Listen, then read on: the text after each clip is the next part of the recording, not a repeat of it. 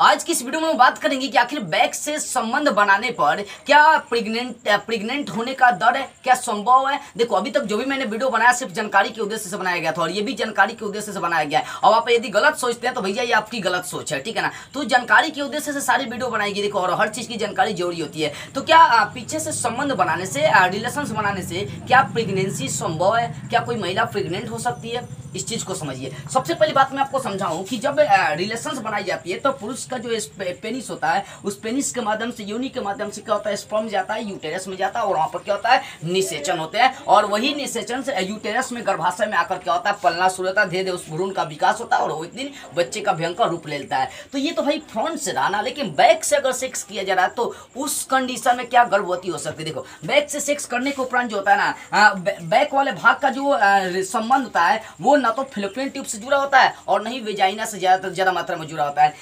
से सेक्स किया जाए तो पुरुष का जो स्पर्म होता है नहीं यूटेरस तक सॉरी वो फिलोपियन ट्यूब तक पहुंचेगा नहीं, क्योंकि जब तक फिलोपियन ट्यूब में स्पर्म नहीं पहुंचेगा, तब तक निषेचन नहीं होगा। और बैक वाले भाग का क्या होता है कि इसका फिलोपियन ट्यूब से, महिलाओं में जो होता है फिलोपियन ट्यूब से कोई कोई मतलब जुड़ने की उतना संभावना ही नहीं होती है। यानी सौ परसेंट में से नाइन्टी नाइन परसेंट नहीं का चांस बनता है बैक से सेक्स करने पर प्रेग्नेंट होने का। ठीक है ना? क्योंकि बैक वाले भाग का जो जुड़ाव होता है फेलोपियन ट्यूब से नहीं होता है, क्योंकि फेलोपियन ट्यूब में तो अंडाणु मतलब ओभम होते हैं फीमेल्स का। और जब तक स्पर्म ओभम में सॉरी ओभम से निषेचन नहीं करेगा, तब तक वहाँ पर प्रेग्नेंट होने का कोई डर ही नहीं बनता है। तो सिंपली बात है बैक से कोई संभावना उतना नहीं बनता है, लेकिन देखो बैक में क्या होता है, अनेक जीवाणु, कीटाणु बैक्टीरिया होता है, इसलिए संभोग करते समय संबंध बनाते समय बहुत सारे गर्भ निरोधक सामानों का प्रयोग करनी चाहिए नहीं तो आपका, आप क्षतिग्रस्त हो जाएँगे, आपका लिंग भी क्षतिग्रस्त हो सकता है। तो मेरी जो बातें थी, समझाना था, देखो सिर्फ़ जानकारी के लिए बनाया गया था, इसका गलत अर्थ निकाल ले तो आपकी गलत सोच है। अब आप कमेंट करके बताइए। जय। hint.